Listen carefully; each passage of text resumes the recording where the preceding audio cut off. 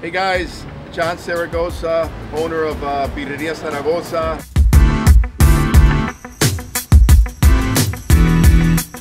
Just to invite everybody here in the city of Chicago to come out and check out the uh, the birria, quesadilla, tacos, and then the birria tatemada.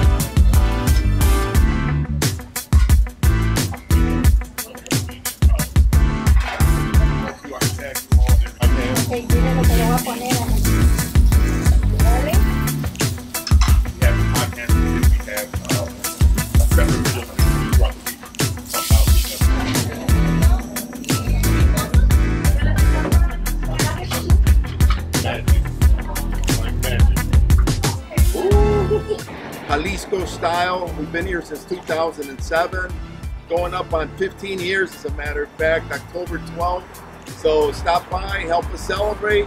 And you got to watch this podcast. It's one of the best, man. So see you later.